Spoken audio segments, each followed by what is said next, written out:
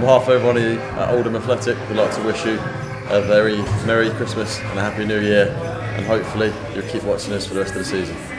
Hi everybody, have a Merry Christmas and a Happy New Year. Happy Christmas to everyone and a Happy New Year. Merry Christmas and a Happy New Year. Um, Merry Christmas and a Happy New Year. Hi, Merry Christmas to everyone and a Happy New Year.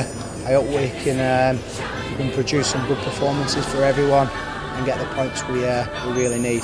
But, uh, thanks for, again for your support and uh, I look forward to seeing you at Blackpool.